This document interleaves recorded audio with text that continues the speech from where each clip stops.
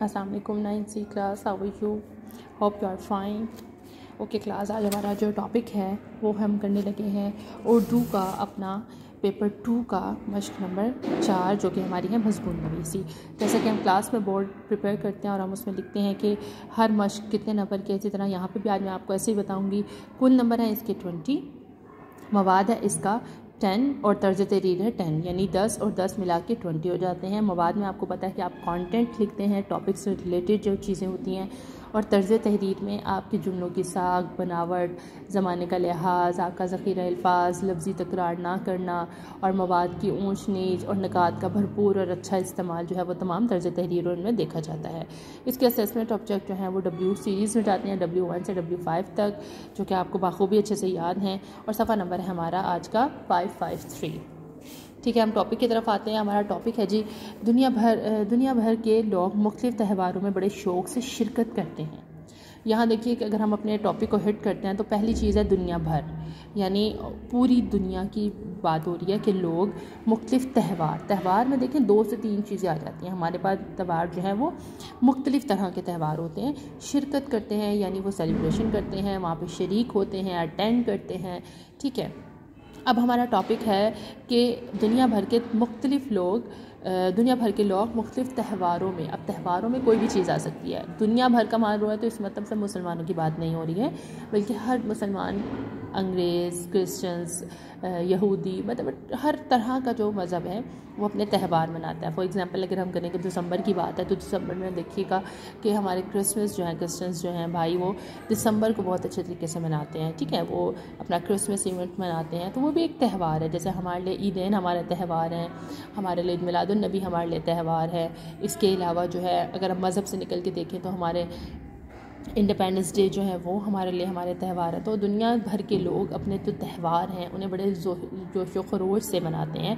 बड़े शौक़ से उनमें शिरकत करते हैं, उनमें अपनी पार्टिसिपेशन देते हैं, उनमें अच्छे तरीके से काम करते हैं। आप इस राय से किस हद तक मुतफिक हैं? तो आप कहेंगे कि मैं इस राय से पूरी तरह मुतफिक हूँ, क्योंकि आज जो भी टॉपिक हमारे पास आता है, जिसमें पॉजिटिविटी होती है, उसमें हम उस राय से मुतफिक अपने आप को वाजह करते हैं।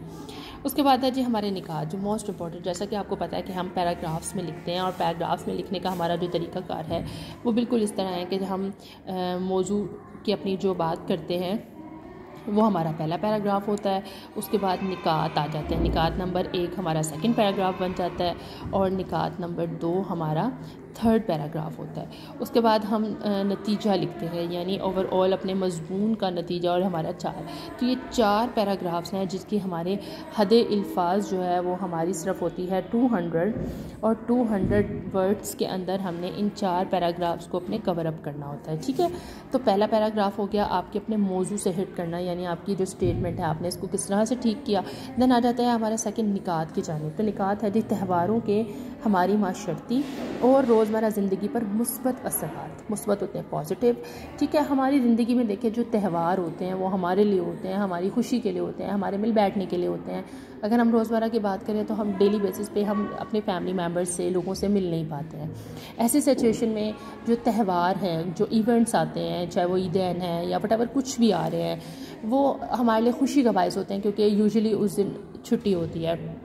स्कूल कॉलेजेस में हमने नहीं जाना होता और ऐसी सिचुएशन में हम अपने घरों को जाते हैं, हम अपने ग्रैंड पेरेंट्स से मिलने जाते हैं, नाना के घर जाते हैं, दादा के घर जाते हैं, अपने चचा के वट एवर कहीं भी फैमिली मेंबर्स में हम मिलते हैं, हम दोस्तों से मिलते हैं, हम अच्छे खाने खाते हैं, हमें एक दूसरे की बात सुनने का, एक दूसरे से बातचीत करने का मौका मिलता है। तो ये हमारी जो रोज़मर्रा की ज़िंदगी है, इस पर एक अच्छा पॉजिटिव चेंज आ जाता है। डेली बेसिस पे आप देखें, आप स्कूल आते हैं डेली बेसिस पे आप स्कूल आते हैं, लेकिन आपको वीकेंड का इंतज़ार होता है। जो नहीं हमारा वीकेंड एक स्टार्ट होता है या करीब आने वाला होता है तो हमारे अंदर एक एक्साइटमेंट हो जाती है। होना तो ये चाहिए ना कि वीकेंड ख़त्म हो रहा है तो हमें एनर्जी हमारी डाउन होनी चाहिए। लेकिन यूजली क्या होता है कि वीकेंड का सुनते ही हम एक्साइटेड हो जाते हैं। हम अपने बहुत सारे प्रोग्राम्स अपने बहुत सारी इवेंट्स बहुत सारी चीज़ों को कवर करने की कोशिश करते हैं। तो वो कहते हैं कि त्यौहारों के हमारी माशरती और रोज़मर्रा ज़िंदगी पर मुस्बत असरार डलती है, बिल्कुल डलती है। आप इसके दो पॉइंट्स अपनी तरफ़ से ढूंढें और लिखें। आपका पसंदीदा त्यौहार कौन सा है? और इसकी पसंदीगी वजूहत भी लिखें। दो बातें आपसे पूछी गई हैं।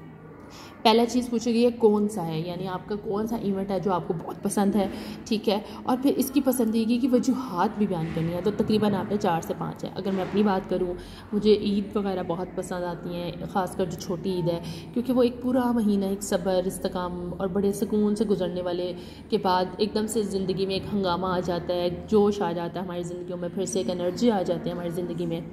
हम सब जो है बहुत अच्छे तरीके से मिलते हैं, एक दूसरे के साथ बातचीत करते हैं मज़े मज़े के खाने होते हैं और डेफिनेटली ऑफ़ कोर्स हमारी ड्रेसिंग होती है, हमारे लिए एक अच्छा एलिमेंट होता है, एक चेंज होता है, हमारी ज़िंदगी में एक नई मज़े की चेंजिंग्स आती हैं। ठीक है? अब आपने इस टॉपिक को बहुत अच्छे तरीके से सुनना है वीडियो को गौर से सुनिएगा प्लीज़ और अपने नकात पे गौर कीजिएगा, और उसके बाद आपने कंक्लूजन लिखना है, यानी लास्ट पैराग्राफ जो आप लिखेंगे, आपका चौथा है तो वो आप फॉर्म करेंगे 200 वर्ड्स को आप इसके अंदर कन्वर्ट करेंगे, ज़्यादा से ज़्यादा आप जा सकते हैं टू टेन तक, आपकी लास्ट लिमिट है, इसको क्रॉस नहीं करना, आपके वर्ड की लिमिट है, ठीक है?